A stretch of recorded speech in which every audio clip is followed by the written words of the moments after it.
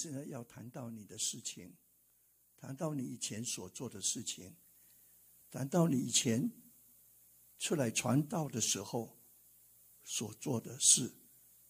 我们巴不得以前你做过的事，今天应用在我们今天啊，在我们的教会，在我们的每一个弟兄姊妹聚会的时候，也感受到你就在我们当中向我们说话。愿你的仆人口中的言语、心中的意念、宝血的洁净，好能造就每一个、每一位坐在这里或是在线上参加聚会的每一个弟兄姊妹。祷告奉主的名，阿门。好，在这里，上帝的国降临。那上帝的国是耶稣在世上传福音的主题。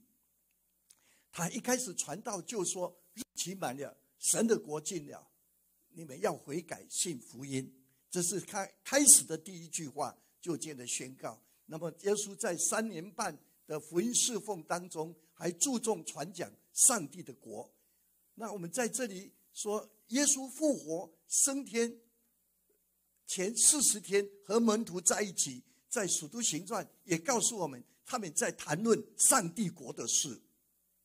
所以开始传上帝的国，然后要离世回天家的时候，还继续传讲论上帝的国啊！不但这样，那么耶稣的门徒也继续啊来传讲啊上帝的国。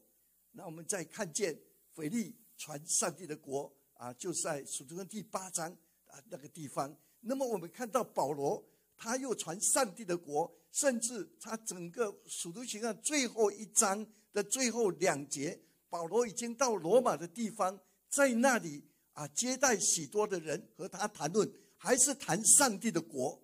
所以在这里，我就想到底上帝的国是什么，让我们有一点了解。那么，上帝的国到底是什么？在主导文当中，我们都知道：愿你的国降临，愿你的国降临，然后愿你的旨意行在地上，如同行在天上。我在这里。哎，我就想到，哎，上帝的国降临，就是上帝的旨意，上帝的主权可以运行的地方。那我们先我先得了解之后，然后我们讲上，他一开始出来，上帝的国也交代要传上帝的国，门徒也这样做。所以今天我们是不是也要传上帝的国？只有两个人，哎，是不是？是。我们做传上帝的国，那我们就是来了解意思，活在上帝的国里面。那么在这里，我要从刚才所读的圣经里面，是耶稣在这一个海边传就上帝的国境了，然后就开始呼召门徒，然后接着他到啊安息日就到会堂里面，又在那边讲道，那赶鬼啊，接着我们就看到他就到家里去。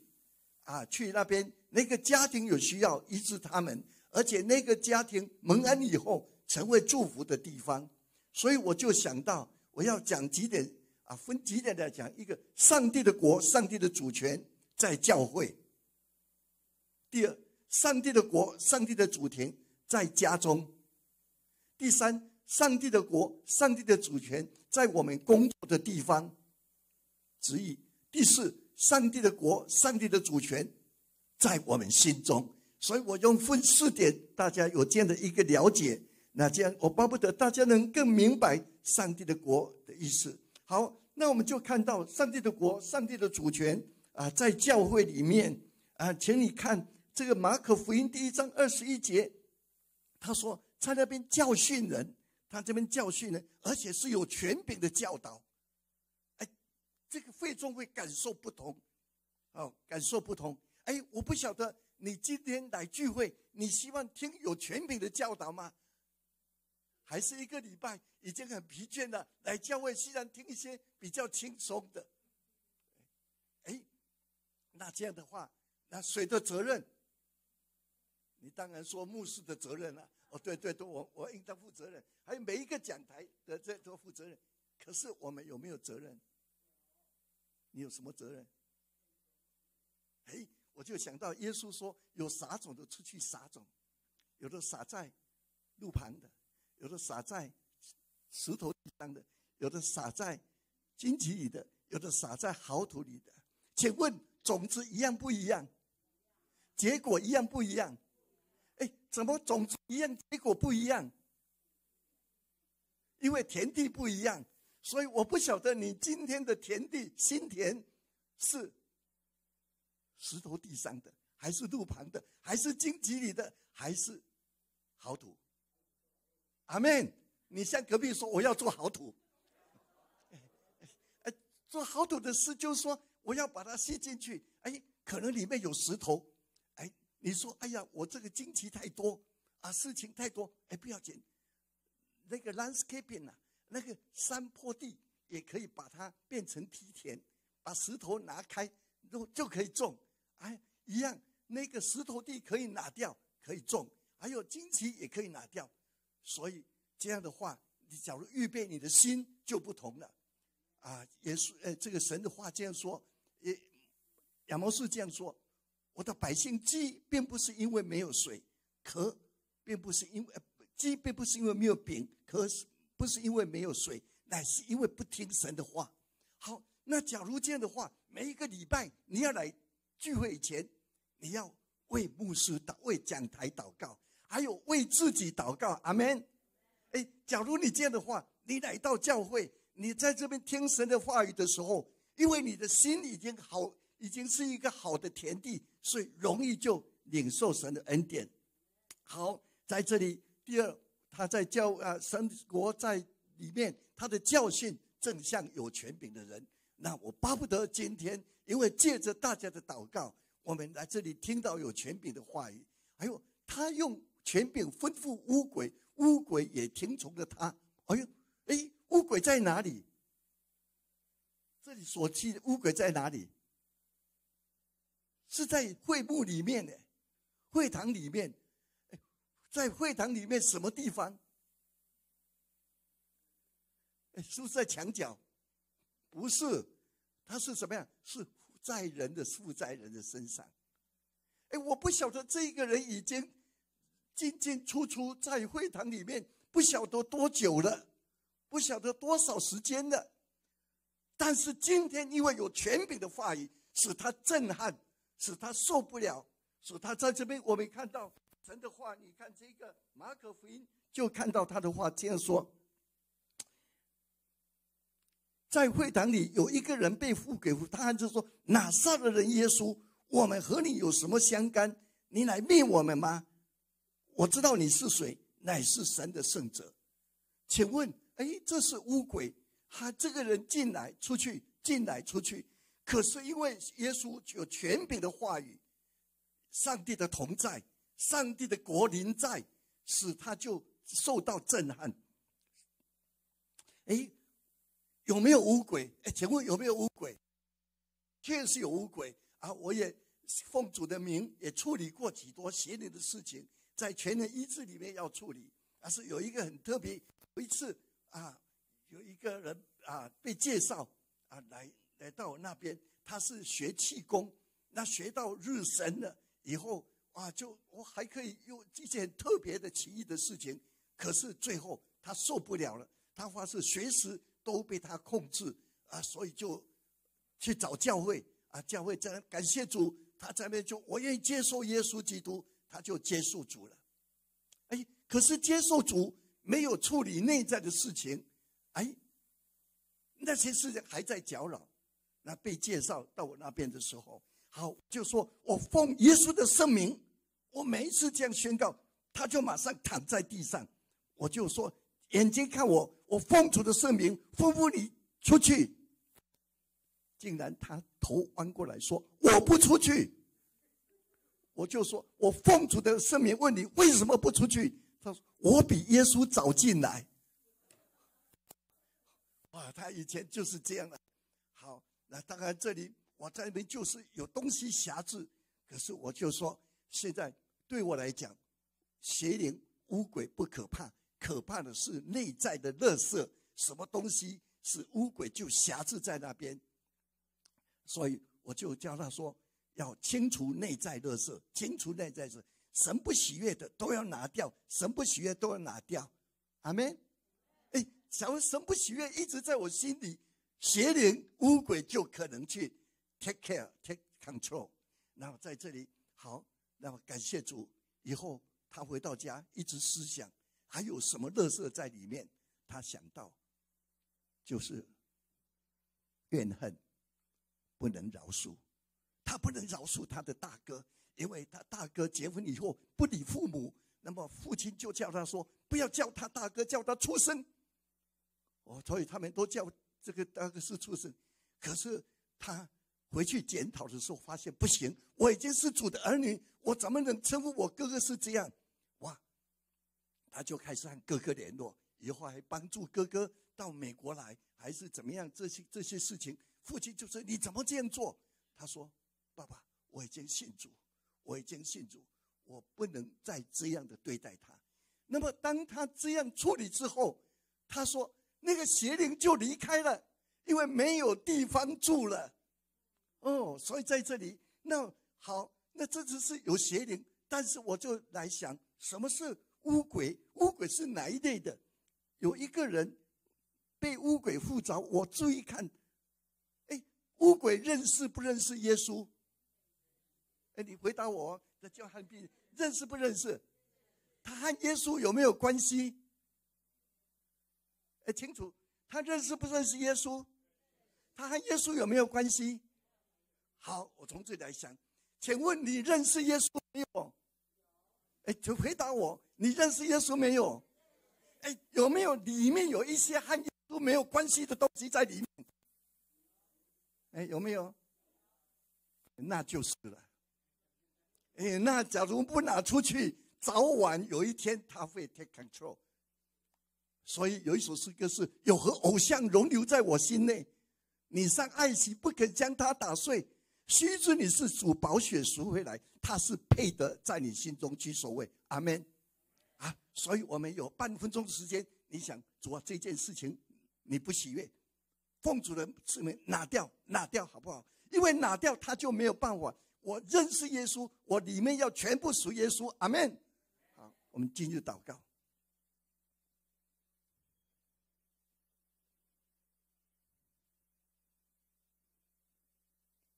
不求你帮助我，我不要外面认识你，可是我内中藏着一些你不喜欢的东西。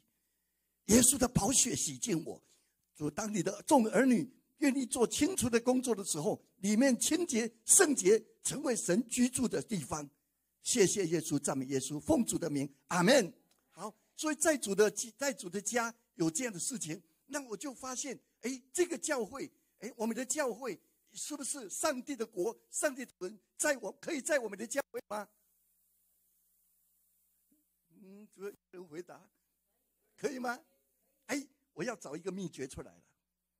数就行上十三章一节到四节当中，他说在安提的教会有五个先知同工，他们侍奉主进食的时候，圣灵说话。要差遣巴拉巴和扫罗去做我要差他们的工作，哎，我发现很美。当同工可以同心祷告，现在我发现我们要实体的祷告会要开始了，求主来帮助。哎，我从金牧师知道说，我们教会好像两位长老是不是？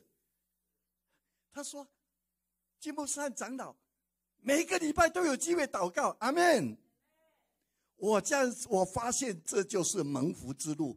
几个同工同心祷告的时候，祷告到圣灵说话，他们在寻求主，主啊，教会前面怎么走？主啊，怎么走？他们这样寻求的时候，圣灵说：“太美了！”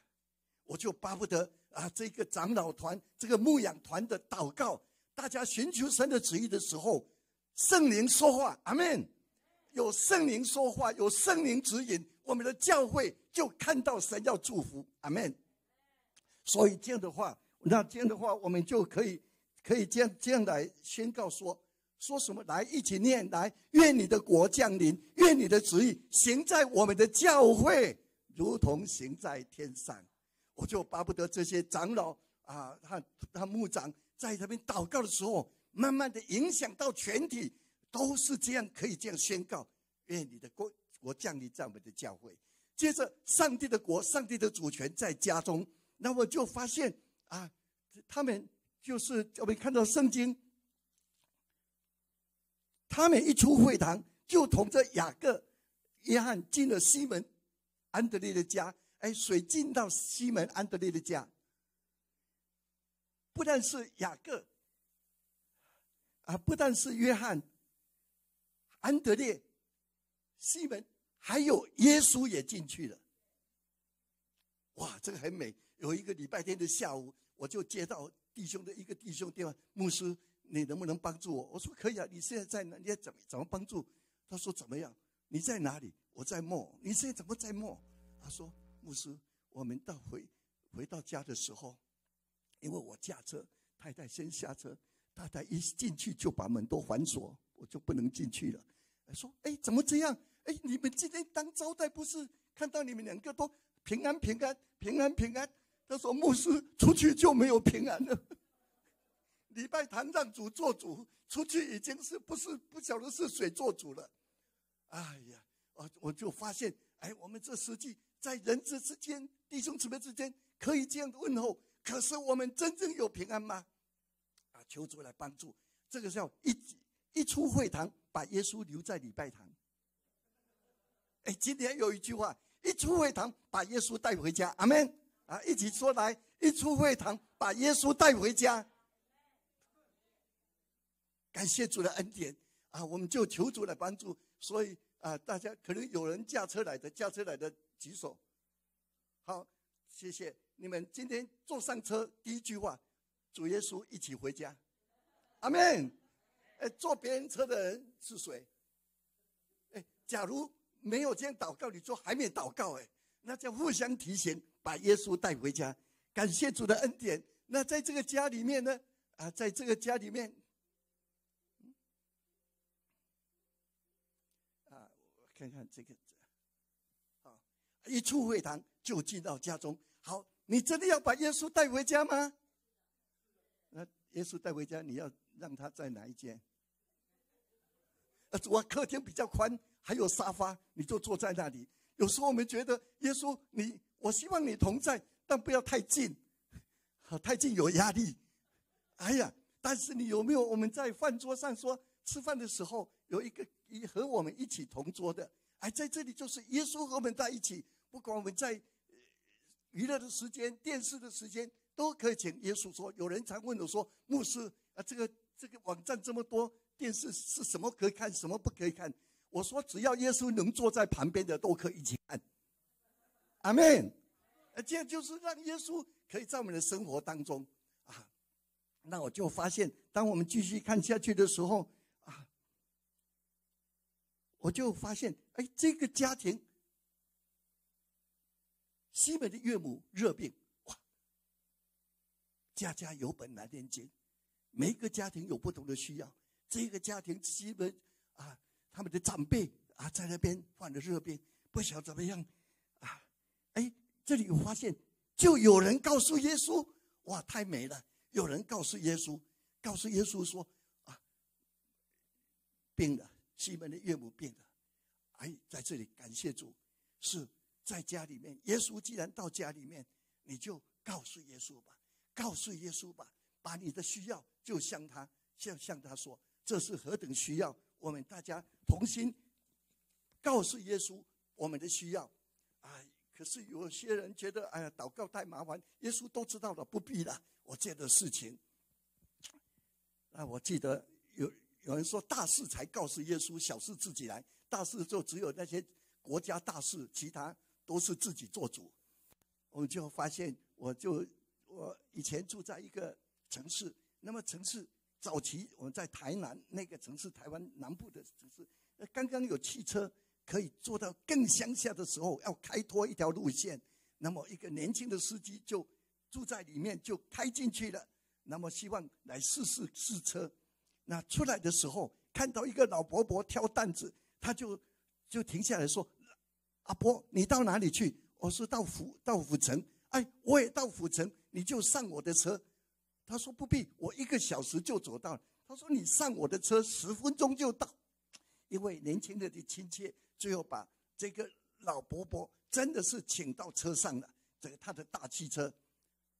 没有想到开车的时候，发现后面乒乒乓乓，一看后镜，哎呀，这个老伯伯没有坐下来，还挑着担子在中间的，那那个路手只是握在那一个椅子上，所以就是不能安定下来啊，他就停下来说：“阿伯，你坐我的车，你就把这个担子放下来，你好好的坐，很快就到了。”他说：“不好意思，好快到就好，不要增加你的重量。”今天多少人已经坐在耶稣的车上，却不肯把担子放下来？请你向隔壁说：“把担子放下来。”哎，偷偷交给耶稣。阿门。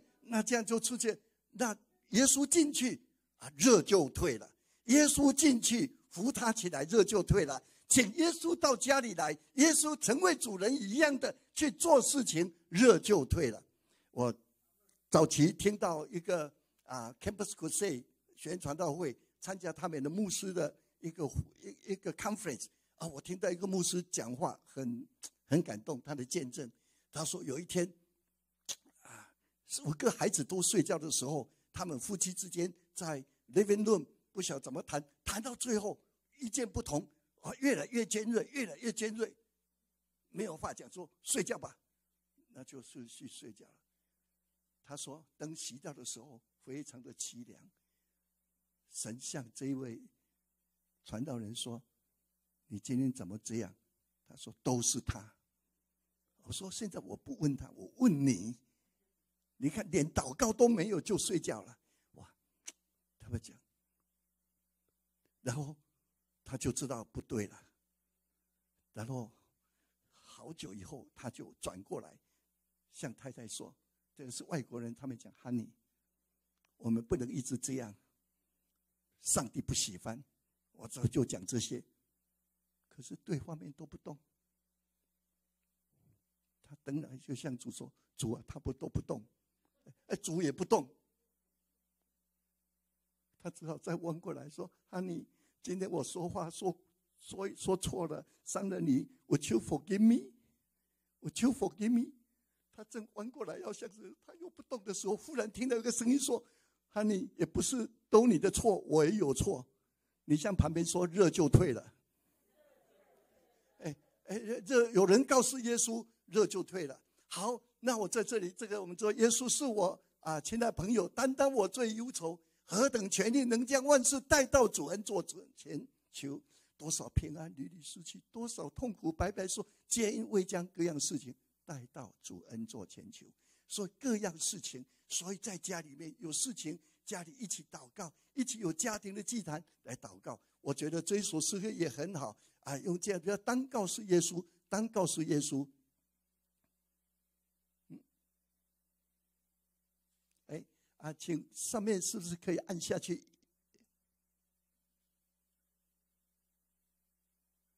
声音。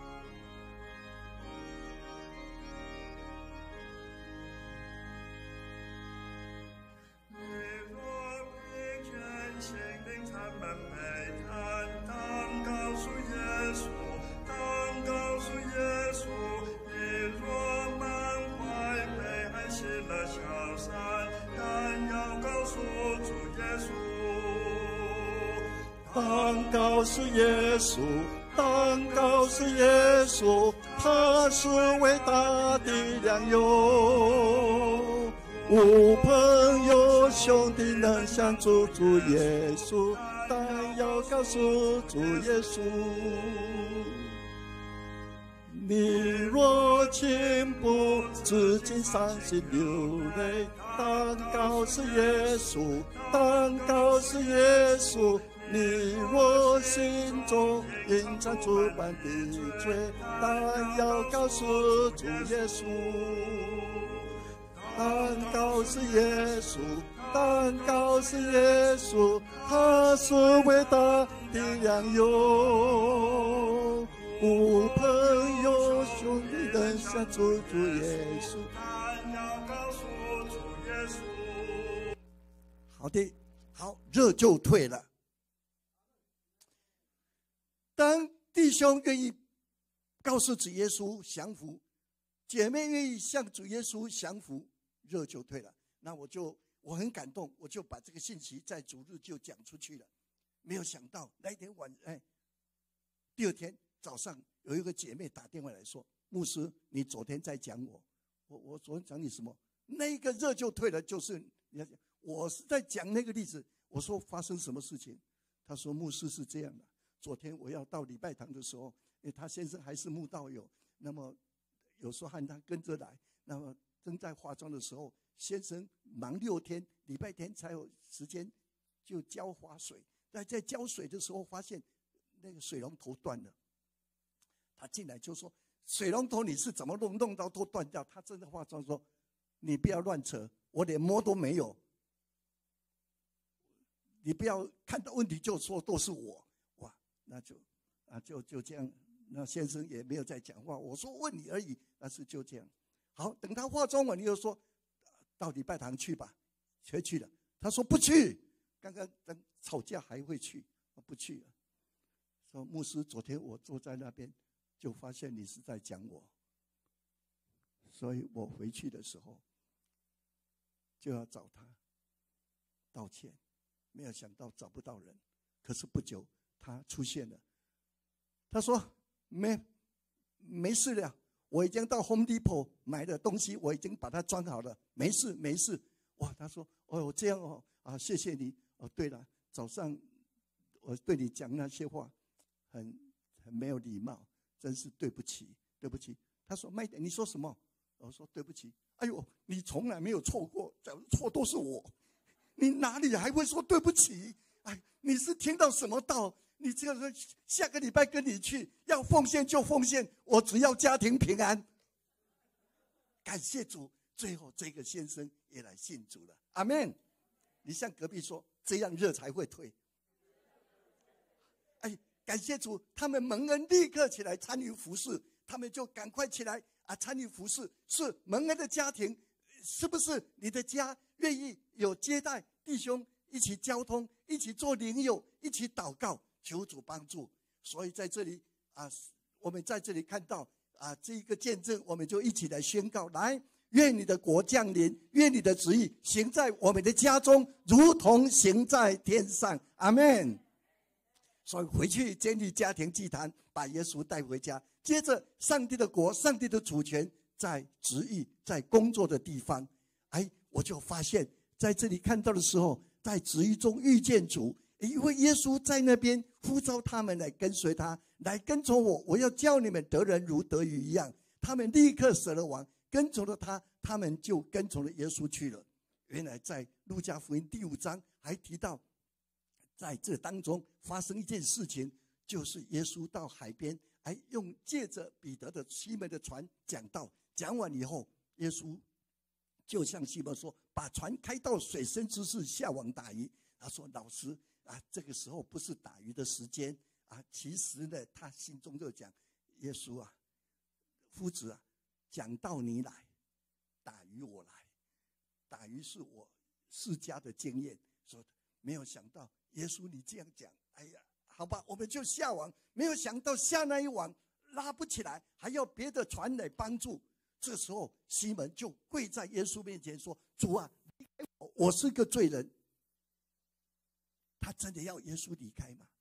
不是，乃是看到说我刚才对你的认识。以为你只有在讲道，以为你是在讲这些事情。原来你所讲上帝的国，也包括在工作的场所。啊，我记得啊，在在这个美南的地方，曾经有一个啊连锁的药厂，叫做 Acro Acro 药厂，一千六七百个 chain store。有一天，这个 Acro 一九八三年信主了。哇，很热心，愿意为主而活。还说：“哎哎，耶稣，我的有的就是你的。”所以进到他的这一个啊药房去看啊，药房不只是卖药，也要卖杂志、卖什么卖玩具。他走到那个杂志栏，发现那一些色情杂志，他受不了，他就主管开会，在月底以前，所有这些色情杂志都下架。而且退退货哦不再定。这个副手说：“老板，这样我们就每个月损失几百万，因为他是一千六六七百个签售，我们就损失了一千今天我们就没有办法赚到这些。”老板说：“我不赚。”他说：“你怎么不赚？”他说：“耶稣不喜欢。”我！感谢主，这成为一个美好的见证。感谢主。那么在这里啊，我们移民的社会，许多人都要找工作。早期我教会也是这样，牧师为我祷告，为我祷告。我需要工作安定，不能整天在家。那么最方便的找 motel 或是这些事情。哇，这时候不要讲多一点的语语言的问题。啊，有一天那人告诉我说：“牧师，我找到了，我找到什么？找到 Seven Eleven。我们叫 Seven Eleven。我说很好，Seven Eleven。我就特别问他：你假如有这个 Seven Eleven 这一个啊，这一个店的时候，你是老几啦？我我就问老几，他说我是老二，因为有 Chain Store 有一个 Chain Store 的老板，我们要这样规定。我们我就遵从他，那以后我可以发挥。其实我故意问的，我就说，那耶稣呢？他马上紧紧说：“啊，对不起，我是老三。”哎，请你向隔壁说，你永远不会做老大，因为你还有一位主哎，阿门。哎哎，这样的话就不同了。假如我们这样的态度，在你的工作，明天。或者你有时候在家里上班，或者明天你可以到真正的 office 去的时候，你看看你的周遭有什么神不喜欢的，就去做处理的工作。阿门。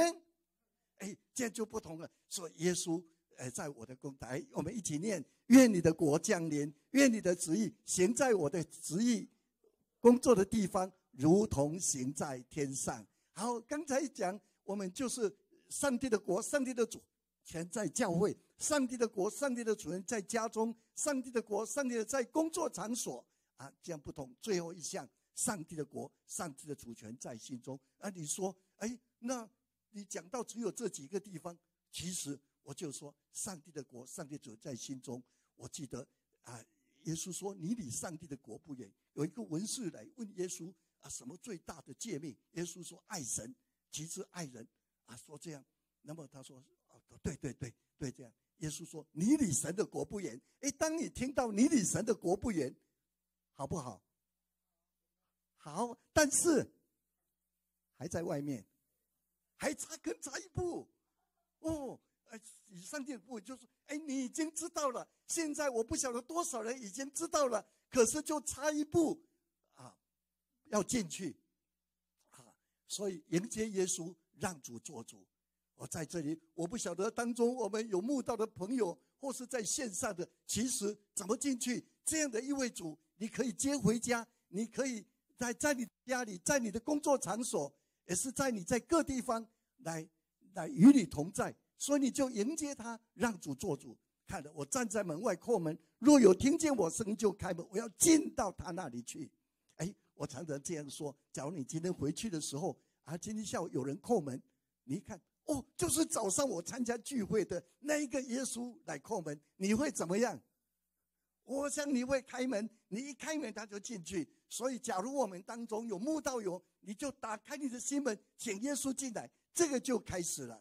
是啊，耶稣不只是救主，乃是生命的主啊。在十九世纪啊，西方社会有一句很出名的话：“If Jesus is not your Lord of all, He is not your Lord at all。”啊，意思比较，比较，就把它解释的比较客气点，就假如耶稣不是你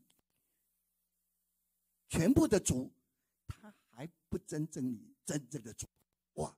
所以让我们就提醒，不只是救主，更是我生命的主。我巴不得今天在这里传这个信息，巴不得上帝的国、上帝的主权会进到你的心中。阿门。好，那这样的话，哦，让我们。啊，向主委身落实，怎么样？上帝的国啊，在我的身上。主怎么说？主你怎么说，我就怎么做。凡是你所不喜悦的，我就不想、不看、不听、不说，也不做。阿门。哎，我是想这个让大家有一个操练哦，把右手举起来，跟着我来。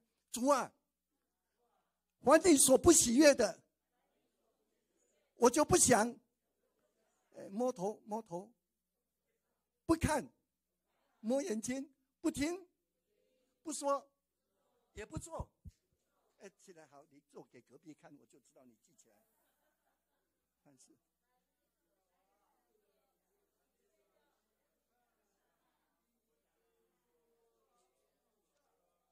好，大家都记起来了。而且，假如你有孩子回去，就只给他，就教他，你就这样的动作，他会记起来的。好，主啊，我没有任何坚持，你不能改变的。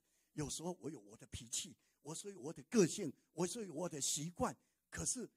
旁边人受不了，可是真理也受不了的时候，只要我没有坚持，你要我改就改，脾气改就改，方法改就改，求主帮助。还有另外，主啊，我立定志向，讨你的喜悦，而且不但讨你的喜悦，也讨 spouse 的喜悦，配偶的喜悦。阿门。啊，这个在我怜悯塑造当中，也都都提起的事情。好，最后一项，主啊，我要时刻清除心中的内在垃圾。刚刚我讲那个邪灵的事情，是黑暗的势力在我身上找不到破口，找不到挂钩。我常常发现我是黑暗的势力在找破口的对象，所以要求主格外的保守，真的是不能有破口，一破口他就挂钩。你讲到就没有能力，你服侍就缺少了那种那一个劲来服侍主。所以我想这几点可以放在心中。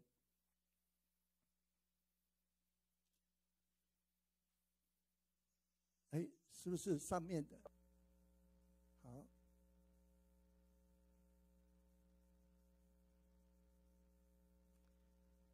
不行吗？好，不要紧，那我就唱给你们听。啊，我就唱给你们听。主啊，你怎么说，我就怎么做。做完你说不喜悦的，我就不想、不看、不听、不说，也不做，也不做。主啊我没有任何坚持，是你不能改变的。主啊我立定志向，要得着你喜悦。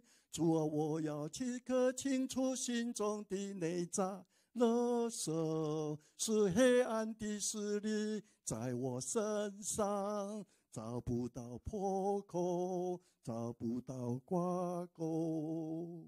好，好，那我们就过去了。好，这样子话，愿你的国降临，愿你的旨意行在我的心中啊！一起念来，愿你的国降临，愿你的旨意行在我的心中，如同行在天上。阿门，阿门。好，那最后，我在这里悔改，信福音，降服在上帝的主权下。你听的这个信息，其实这个信息，假如我们真正这样做，我们这个人可以被圣灵充满，因为你已经都让主做主了。你只要这样的严肃的这样把那些东西拿掉，真的耶稣可以完全的掌权，悔改心思意念的改变，带动生活的改变。你可以在这里有一个心智，我要悔改，那么带动你回去，你等一下的生活。就来改变，主啊，你喜欢吗？你不喜欢，我就不想、不看、不听、不说也不做。好，那接着我们就看今日，让我们谦卑悔改，降服在上帝的主权下。阿门。啊，最后我用一个例子来来结束。啊，就是我我常在鼓励祷告会，祷告会。那么现在我们教会又开始要祷告会，很好。那么在在有一个教会祷告会当中呢，哎，有一个中年的啊童工呢。哇，他都很热心，事业很忙，可是他一定参加祷告会。可是祷告，哇，主啊，感谢主，主主主。他最后就最后一个祷告，他说：“主啊，我热心要爱你，可是我许多的蜘蛛网把我网住，求你拿一只扫把把那些蜘蛛网拿掉，我可以清醒更多的奉献在你面前。”哇，大家说阿门，阿门。那个鼓励年轻人祷告会，他就去参加祷告会。哎，他一个礼拜，两个礼拜说，哎，就朋友说，这个是不是第五次了？第五次说一只老一猪猪，那么要拿一个扫把把它打，把它挪掉。说对了，人家是这样表达的，没有没有你的事情的。他说，哎，可是他一祷告说，求你拿扫把把那只猪猪打死。奉耶稣的圣名，阿门的时候，这个人已经站起来说：“主啊，用那只扫把把那只老猪猪先打死，打死老蜘蛛，就不会有猪猪王。”阿门。哇，在这里我就发现，真是需要求主帮助。有什么我们要被治死的？这样的话，让我一起来宣告：来，愿你的国降临，愿你的旨意行在我们的教会、我的家庭。我工作的地方，我的身上如同行在天上。阿门。我是要带大家一个祷告，愿圣灵充满。那么最后的诗歌的童工可以准备。主耶稣，当我们信息结束的时候，我们就又举目望天，向你说：主啊，你的仆人已经尽所能的传递这信息，现在需要的是。基督的主权在我们的教会，基督的主权尽在我们的家中，基督的主权在我的工作场所，基督的主权在我的心中。主啊，哪一个预备好的心田？你的国，你的主权就渗透进去。主耶稣，求你的圣灵充满，充满这一群你所宝贝、你所呼召你的百姓。现在我们不但认知，而们愿意落实。主，求管理我心，求你圣灵充满，奉耶稣基督的圣名，阿门。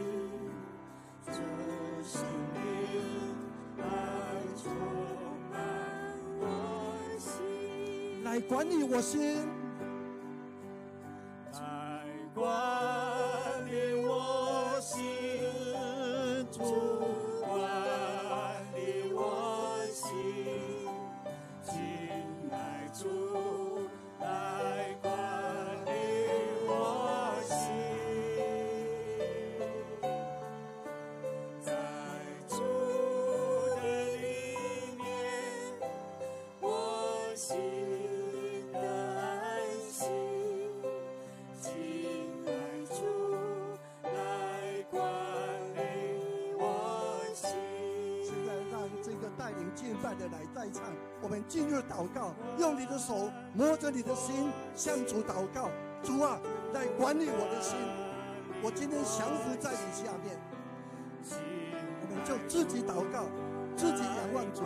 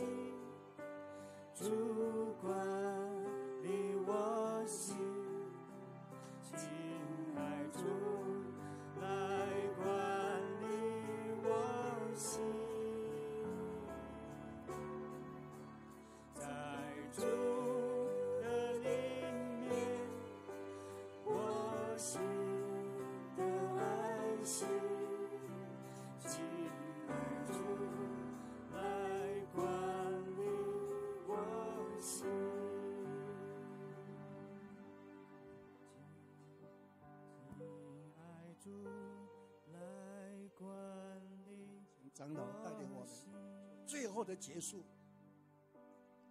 是主耶稣，我感谢你。愿上帝的国，上的主权，在我们的教会，阿门。